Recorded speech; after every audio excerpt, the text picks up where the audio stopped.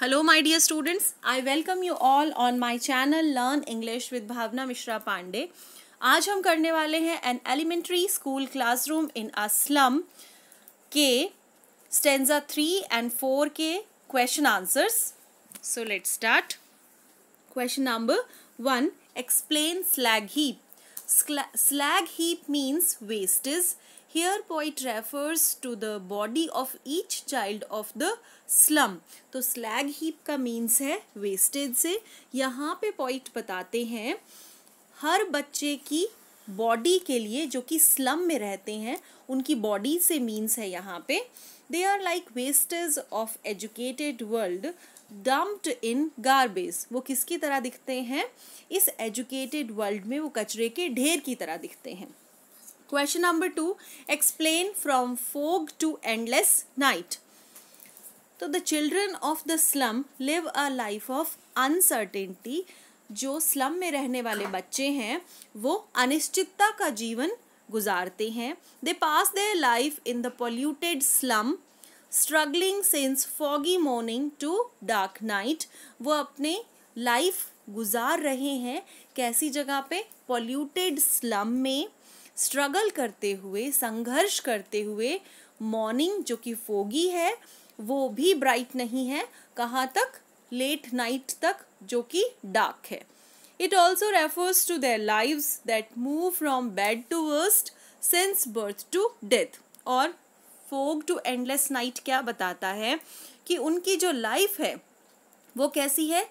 वो बैड है, लेकिन बैड से भी वर्स्ट होती जा रही है, यानी बद से बदतर होती जा रही है, कब से? उनके बर्थ से लेकर के उनकी डेथ तक। Question number three why they are called blot in the map तो मैप में वो धब्बे की तरह क्यों दिखते हैं? They are called a stain in the map because they don't belong to the civilised beautiful world depicted on the map instead they live an unhealthy undernourished life in filthy slum, which is full of dirt and dust. तो वो एक stain की तरह दिखते हैं map में, क्योंकि वो बिलोंग करते हैं एक ऐसे वर्ल्ड को जो कि सिविलाइज्ड है। लेकिन वो सिविलाइज्ड नहीं है। और जो वर्ल्ड है, वो कैसा है? बहुत ही सिविलाइज्ड है ब्यूटीफुल है। जो मैप में दिखाया गया वर्ल्ड है, जबकि उनका वर्ल्ड उन चिल्ड्रन का वर्ल्ड उससे ठीक कॉन्ट्रेरी है। बिल्कुल डिफरेंट है, जो कि अनहेल्दी एंड अंडर नरिश्ड है। जो चिल्ड्रन है वो फिल्दी स्लम में रहते हैं। फिल्दी का मीन्स गंदी स्लम में रहते हैं, जो कि full of dirt and dust है। So they are called a stain on the map इसलिए उनको कहा गया है कि वो मैप में एक स्टेन की तरह है। Now question number four why are the bodies of children called slag heap children की जो बॉडीज है, उसको पॉइंट ने यहाँ पे स्लैग हीप क्यों कहा है? Because poverty has made it stall on the slum children क्योंकि स्लम चिल्ड्रन जो हैं, बस्ती में रहने वाले जो बच्चे हैं, उन पे पॉवर्टी ने बहुत ही बुरा इफ़ेक्ट डाला है। एक इम्पैक्ट है उन पे किसका? पॉवर्टी का। And lack of proper food उनके लिए अच्छे फ़ूड की कमी है। And polluted atmosphere they have उनका चारों ओर का एटमोसफियर है, वो अनहाइजीनिक है पोल्यूटेड है, जिसकी वजह से वो कैसे दिखते हैं? They look like a heap of bones वो एक हड्डियों के ढांचे की तरह दिखते हैं, जिसका ढेर लगा हुआ है। एंड उनका जो फ्लैश है एंड बोन्स हैं, क्या है? Carelessly arranged like a heap of waste वो कचरे के ढेर की तरह दिखते हैं। Question number five explain skins peep through by bones so here the point says the slum children have fragile built fragile built means जो चिल्ड्रन हैं स्लम के, वो कैसे हैं? मतलब इजीली कोई भी उनको ब्रेक कर दे, क्योंकि वो कैसे हैं? माल न्यूट्रिटेड चिल्ड्रन हैं, कुपोषण के शिकार बच्चे हैं। दे आर सो स्किनी इतने दुबले पतले हैं that the bones are almost visible on the surface of their skin कि उनकी जो बोन्स हैं, उसको कोई भी इजीली काउंट कर सकता है, वो सरफेस पे बिल्कुल साफ़ नज़र आती है, कोई भी उनको काउंट कर सकता है। Next question what does spectacles of steel tell us about the lives inside the huts तो स्पेक्टिकल्स ऑफ़ स्टील क्या बताता है हमको? It is to be suppose that the slum children being part of an industrial slum अब ये जो spectacles of steel है, इससे हम अंदाज़ा लगा सकते हैं जो स्लम चिल्ड्रन हैं, वो कहाँ रहते हैं? शायद वो रहते हैं किसी इंडस्ट्रियल स्लम में, जहाँ पे कोई इंडस्ट्री वगैरह होगी and are engage in some sort of manufacturing for which they have to wear protector glasses with steel rims तो वहाँ वो उस इंडस्ट्रियल एरिया में है एंड जहाँ पे वो वर्क करते हैं, जो मैन्युफैक्चरिंग का जो इंडस्ट्रियल एरिया है, वहाँ पे उनको प्रोटेक्शन के लिए वो जो ग्लासेस हैं, वो पहनने पड़ते हैं एंड उसकी रिम कैसी है? स्टील मेड है स्टील से बनी हुई है, ताकि वो जल्दी ही टूटे ना, उनका जो फ्रेम है वो। Now question number seven why is the glass of the spectacles mended अब जो ग्लास उन्होंने पहन रखे हैं, उसका जो स्पेक्टिकल्स हैं, उनके ग्लास मेंडेड क्यों है? मीन्स रिपेयर्ड क्यों है? Protector glasses have been over use and transferred from older generation and therefore they are scratched and mended तो जो प्रोटेक्टर ग्लासेस उन्होंने पहने हुए हैं, वो या तो ओवर यूज़ है मीन्स बहुत ज़्यादा बार उनको यूज़ किया गया है, या फिर हो सकता है कि वो ओल्ड जनरेशन यानी उनके जो पहले वाली जनरेशन थी, उन्होंने पास ऑन किया इन बच्चों को तो क्या हुआ? बहुत ज़्यादा ओवर यूजिंग की वजह से वो क्या हो गए? वो मे बी टूट गए होंगे और उनको फिर रिपेयर कर करके बार बार बच्चे यूज़ कर रहे हैं, जिसकी वजह से क्या उन पर बहुत सारे स्क्रैचेस दिखते हैं और वो मेंडेड है मीन्स वो रिपेयर्ड है। एंड उनके पास इनफ मनी नहीं है कि वो ब्रांडेड या नए परचेज कर सके। Next question is explain all of their time and space are foggy slum so, here the poet says that the atmosphere of the sun is always filled with industrial smoke and dust. चारों ओर का atmosphere कैसा है उस slum का? Which is filled with smoke and dust धुएँ और धूल से भरा हुआ है। The children do not have a world other than this and in children के पास इस वर्ल्ड के अलावा दूसरा वर्ल्ड नहीं है। the time and space are foggy slum means चारों तरफ फॉगी फॉग है blurredness you can say mist you can say okay so let's see next question so what blots the map of the slum how are the slums plots so poet asks here कि इनकी जो slum है, वो map में एक धब्बे की तरह कैसी है? क्यों दिखती है वो धब्बे की तरह? क्या है वो धब्बा? वो stain so the map inside the classroom is blotted with dark marking of the slum जो मैप लगा हुआ है क्लासरूम के अंदर, वो क्या है? वो ब्लॉटेड है। किसकी वजह से?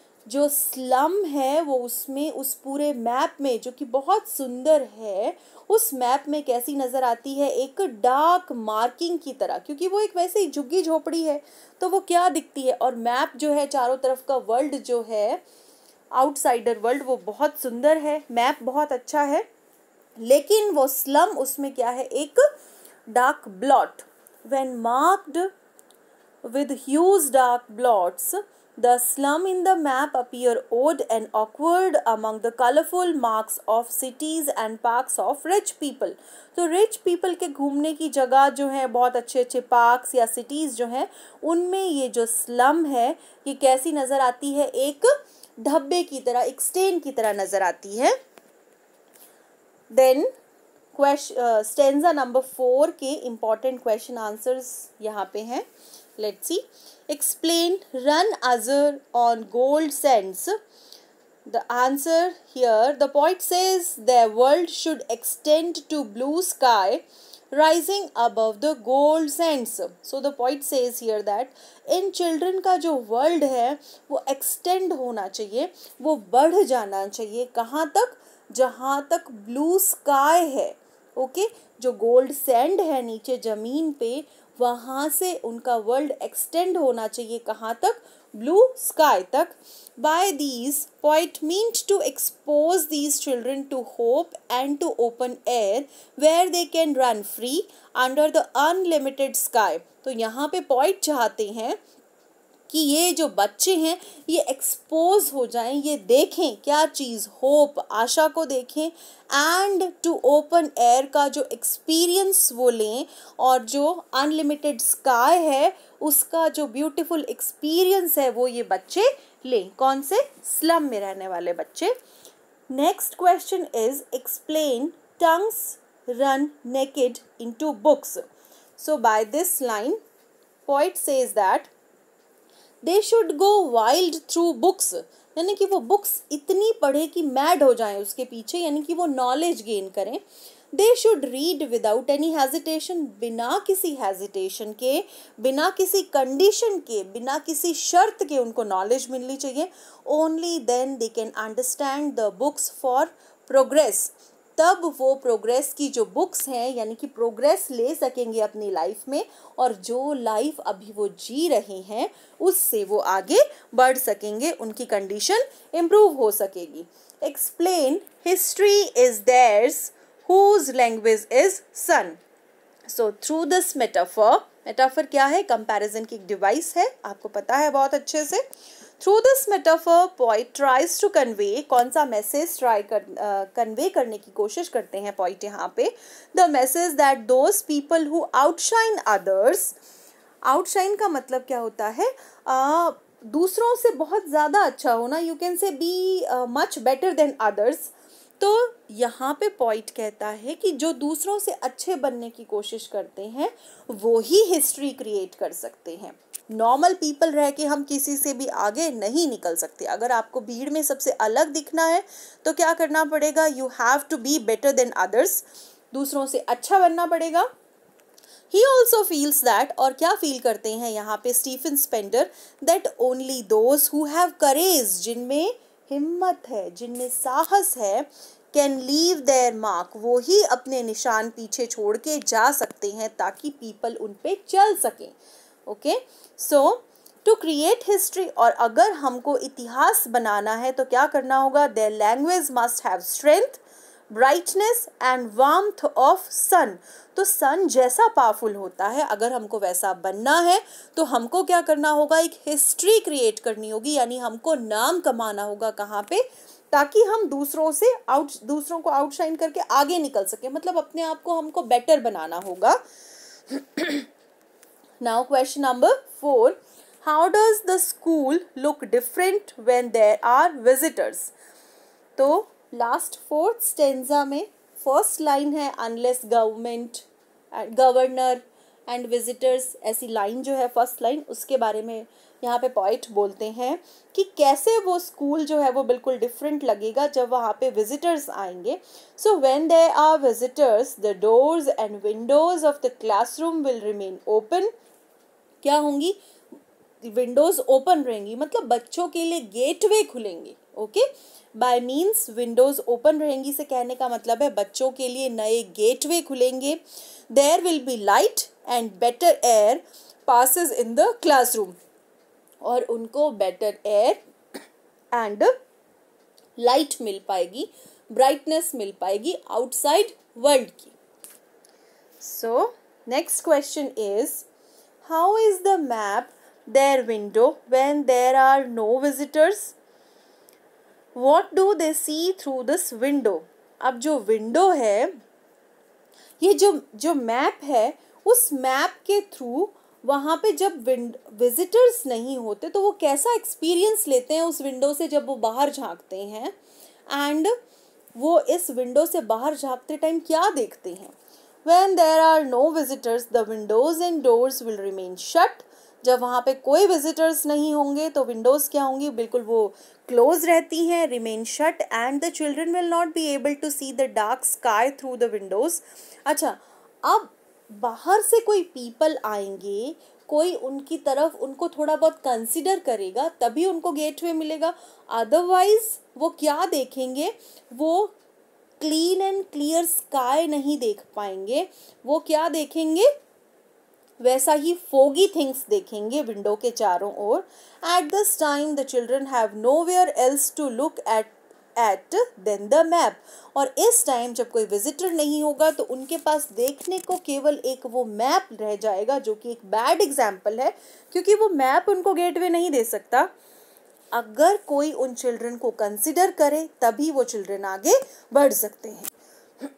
They see their own slum marked in the map वो क्या देखते हैं? अभी वो क्या देख रहे हैं? कि उनकी जो स्लम है, वो एक ब्लॉटेड रूप में, एक स्टेन के रूप में, उस मैप जो टंगा हुआ है, उसमें एक ब्लॉट के रूप में दिखाई दे रही है। Now next question question number six what are catacombs is the comparison of the classroom to catacombs apt and how तो पॉइट यहाँ पे पूछते हैं स्टीफन हेरल्ड स्पेंडर एंड इनका पूरा नाम है सर स्टीफन हैरल्ड स्पेंडर इनको सर की उपाधि मिली थी। तो यहाँ पे स्पेंडर पूछते हैं कि कैटाकॉम्स क्या है? एंड ये क्लासरूम का जो कंपैरिजन किया है कैटाकॉम से कि क्या ये एप्ट है? एप्ट मीन्स अप्रोप्रिएट उचित है। और अगर ऐसा है तो कैसे? So catacombs are underground burial places catacombs क्या होते हैं? अंडरग्राउंड बरियल प्लेसेस यहाँ पे किसी को दफनाया जाता है। और वो कैसे होंगे? जब वो अंडरग्राउंड होंगे तो बट ऑब्वियस वो कैसे होंगे? वो डार्क होंगे, वहाँ पे अंधेरा होगा। And confined with hundreds of dead bodies resting eternally और उसमें क्या होंगी? बहुत सारी dead bodies rest resting place होता है वो एक तो वहाँ पे बहुत सारी डेड बॉडीज होंगी बट ऑब्वियस वो प्लेस डार्क होगा। The classroom deserves to be called a catacomb और क्लासरूम्स का जो कंपैरिजन किया गया है कैटाकॉम से वो बिल्कुल सही है, क्योंकि वहाँ पे क्या है चिल्ड्रन जो हैं वो बहुत डार्कनेस में है एंड कैसे हैं वो?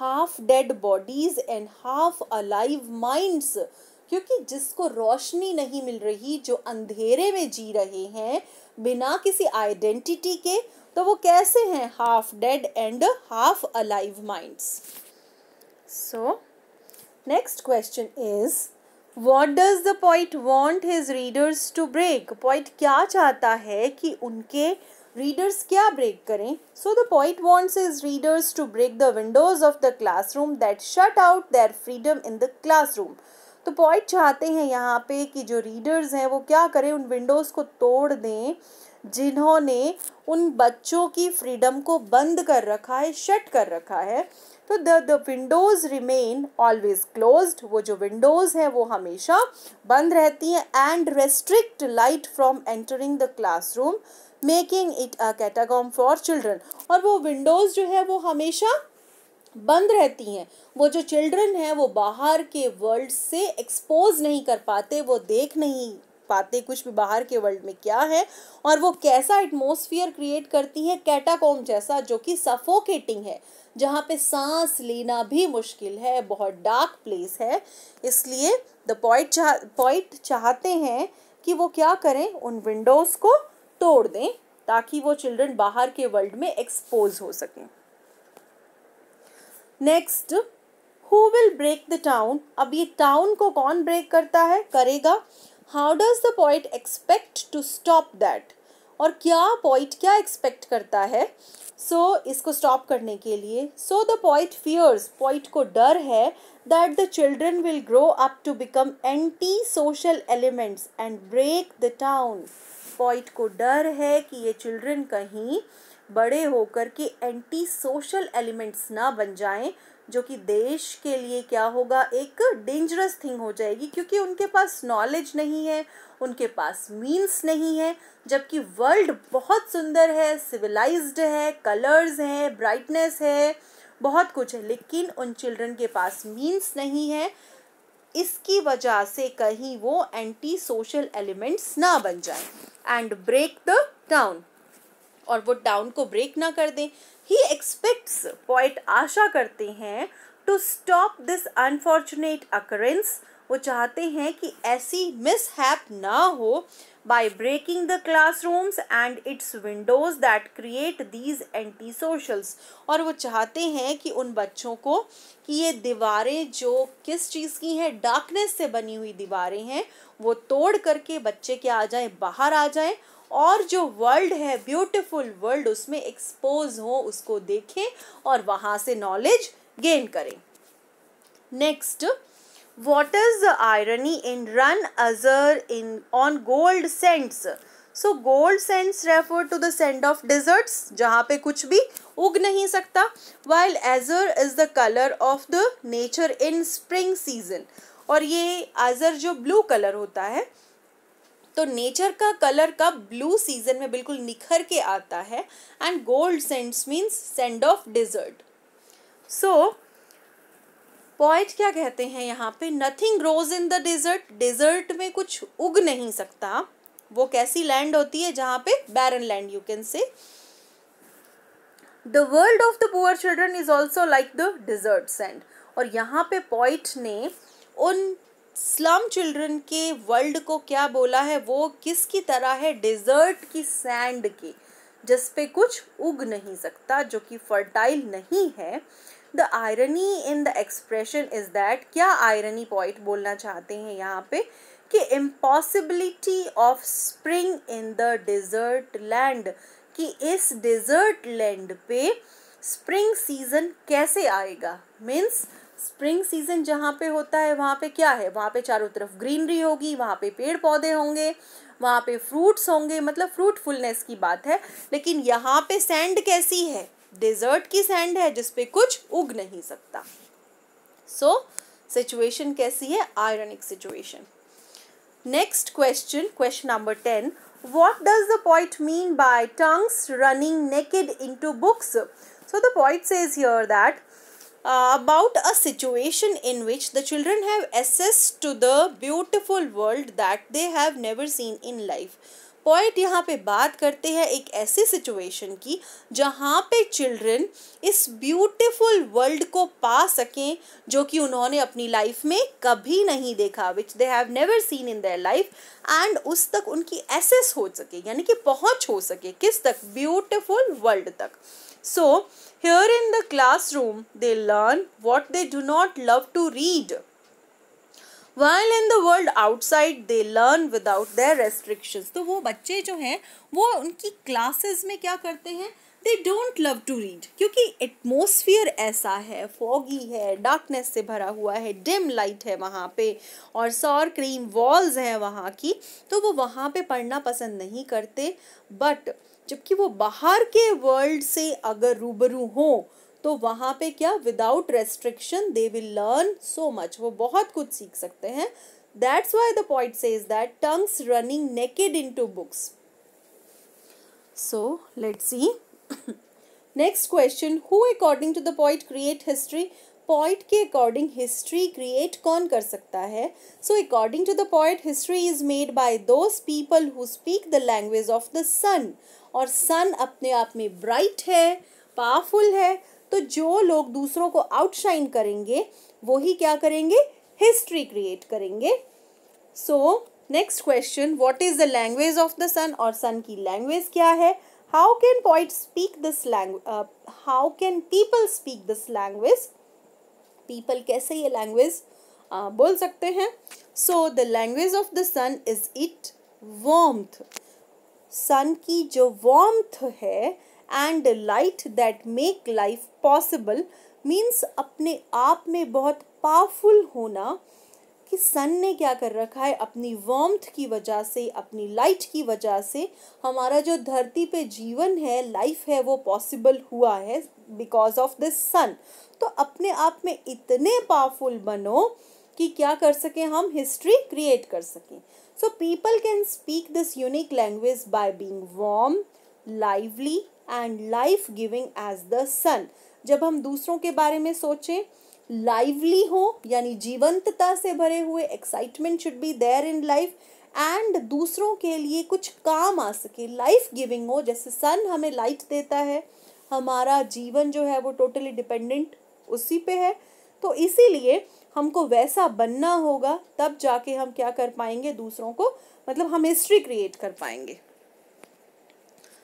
Next question last stanza of the poem bring out optimism explain तो लास्ट स्टेंजा जो है अनलेस गवर्नर वो वाला जो स्टेंजा है फोर्थ स्टेंजा वो क्या बताता है? ऑप्टिमिज्म ऑप्टिमिज्म का मतलब होता है आशावाद। एक आशा जगाता है मन में।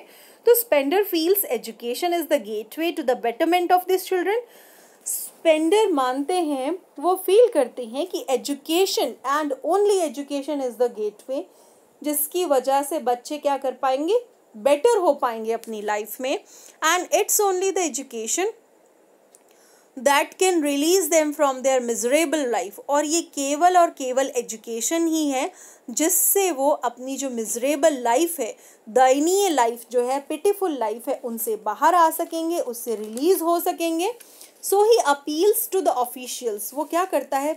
एक तरह से वो रिक्वेस्ट करते हैं। किस से एक अपील करते हैं। किस से जो हाई ऑफिशियल्स हैं ऑफिसर्स हैं अच्छे अच्छे पोस्ट्स पे उनसे of all spheres of life to be sensitive to these children and break the barriers that hinders their growth and development so the point here appeals जो हाई पोस्ट पे जो high officials बैठे हैं, वो क्या करें? वो थोड़े से ह्यूमन हो जाएँ, थोड़े से सेंसिटिव हो जाएँ एंड कंसिडर करें इन सभी स्लम चिल्ड्रन को एंड जो बैरियर्स हैं, जो बाधाएँ हैं हिंडर्स मतलब भी बाधाएँ होता है बैरियर्स मतलब भी बाधाएँ होता है, उन सबको तोड़ के क्या करें? इन चिल्ड्रन की ग्रोथ करें, इनका डेवलपमेंट करें, इनके बारे में सोचें। नाउ सम इंपॉर्टेंट क्वेश्चंस वैसे तो सारे क्वेश्चंस ही इंपॉर्टेंट है, लेकिन थीम के बारे में एग्जामिनर बार बार पूछ लेते हैं।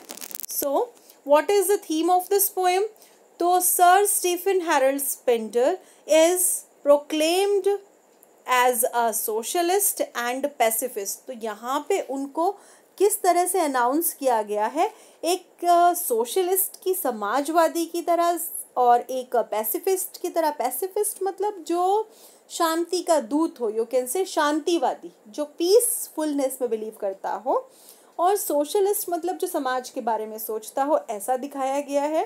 In this poem he concentrates on the theme of social injustice और यहाँ पे जो पॉइंट हैं स्टीफन स्पेंडर, वो किसकी बात करते हैं? वो कंसंट्रेशन अपना किस पे रखते हैं?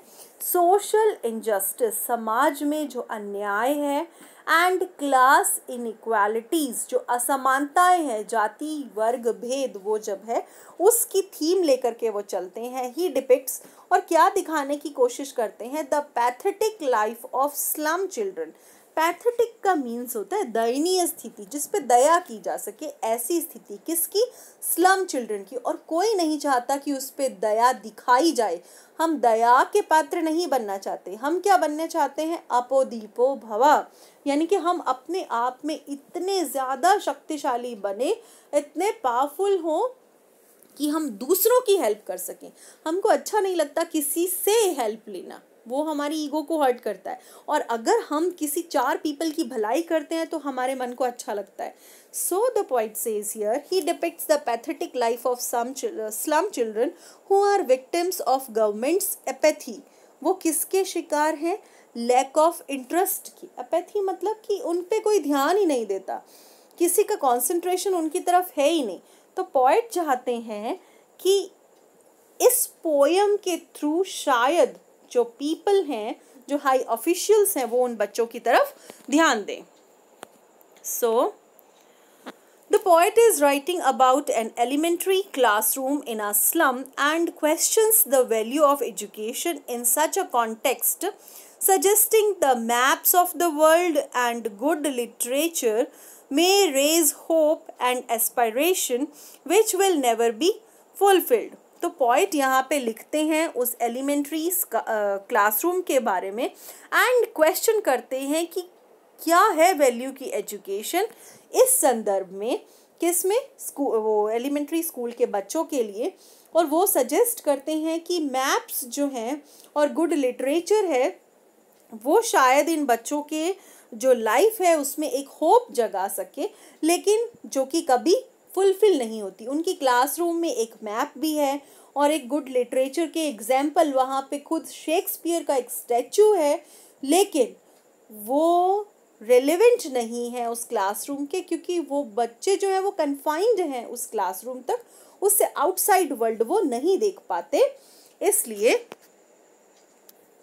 so here the poor emancipation emancipated slum children are like captives in the world of darkness poverty and hopelessness तो ये जो बच्चे हैं ये किसके शिकार हैं डार्कनेस के पॉवर्टी के एंड होपलेसनेस के यानी कि आशा विहीनता यू कैन से निराशा के शिकार बच्चे हैं ये through this poem the poet expresses his outrage at the insensitive attitude of the rich and privileged people towards the unfortunate children of the slum school तो इस पोएम के थ्रू पोइट एक्सप्रेस करते हैं अपना आउटरेज यानी बहुत गुस्सा करते हैं, अपना गुस्सा जो है वो प्रकट कर रहे हैं कि जो पीपल रिच पीपल हैं या प्रिविलेज्ड पीपल हैं, यानी कि जिनके पास सारी सुविधाएँ हैं उन पीपल का एटीट्यूड बहुत ही इनसेंसिटिव है।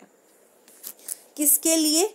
ये चिल्ड्रन जो कि अनफॉर्चुनेट हैं, जिनको लाइफ की सारी की सारी सुविधाएँ प्राप्त नहीं है, जो कि डिप्राइव्ड चिल्ड्रन है, सारी सुविधाओं से वंचित चिल्ड्रन है, उनके लिए ही इज़ नॉट पैसिमिस्टिक वो खुद पैसिमिस्टिक नहीं है।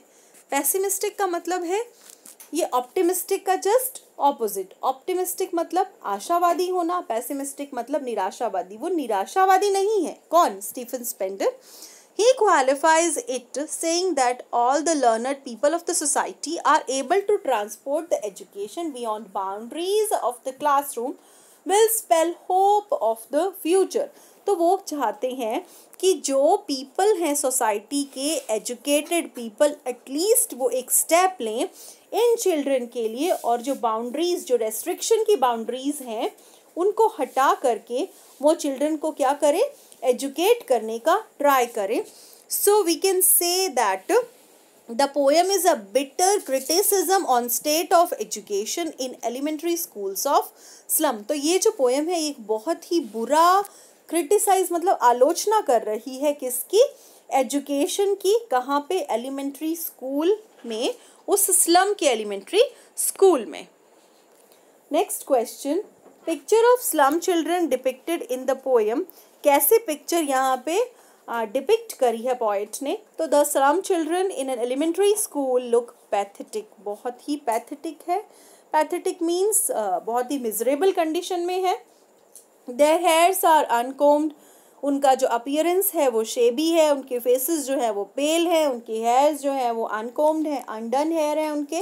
दे आर अंडर नरिश्ड वो माल न्यूट्रिटेड हैं डिज़ीज़ हैं। नॉल्ड डिज़ीज़ करके फ़र्स्ट पैराग्राफ फ़र्स्ट एंजा में आया था।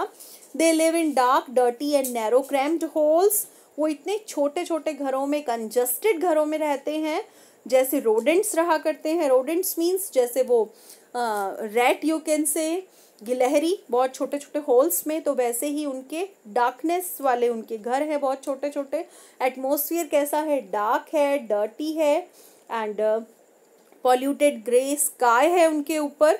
So and forced to sit in a dreary classroom where they don't get proper education और वो जिस क्लासरूम में है, वो वो भी कैसा है, वहाँ पे उनको एजुकेशन प्रॉपर एजुकेशन नहीं मिलती। Next question the children of slum are hopelessly hoping against the hope discuss so children जो हैं स्लम के, वो क्या कर रहे हैं? होपलेसली होपिंग वो निराशा में है लेकिन फिर भी वो आशा की आशा कर रहे हैं। तो इस बारे में Poet says, although the children of slum lead a life of poverty, disease, darkness and hopelessness, उनकी लाइफ में कुछ भी अच्छा नहीं है वहाँ पे निर्धनता है गरीबी है बीमारी है डार्कनेस है अंधेरा है और निराशा है। इसके अलावा उनके पास कुछ भी नहीं है। They dream of nature river open fields and squirrel game लेकिन फिर भी वो आशा उनके मन में सपने किस चीज़ के हैं? नेचर के रिवर के ओपन फील्ड्स एंड स्क्विरल के. So these dreams are nurturing their eyes ये सपने उनकी आँखों में पलते हैं, लेकिन उनके पास कोई भी आशा नहीं है कि वो फुलफिल होंगे, वो सपने पूरे होंगे, इनकी, उनको कोई आशा नहीं है. Thank you so much students Stay connected. Keep watching. We will meet in the next video.